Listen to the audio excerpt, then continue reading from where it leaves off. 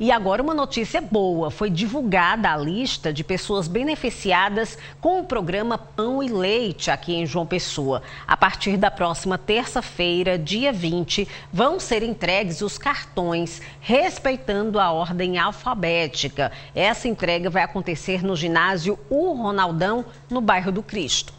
Nós fizemos essa distribuição para que fique confortável para todo mundo, que as pessoas se dirijam com tranquilidade ao Ronaldão, no horário que está definido, no dia da sua letra, e que possam receber o cartão para fazer uso dele em seguida. Lembrando que a lista com o nome das pessoas contempladas com esse cartão está disponível no portal da Prefeitura de João Pessoa. O endereço está aparecendo aqui no canto da tela.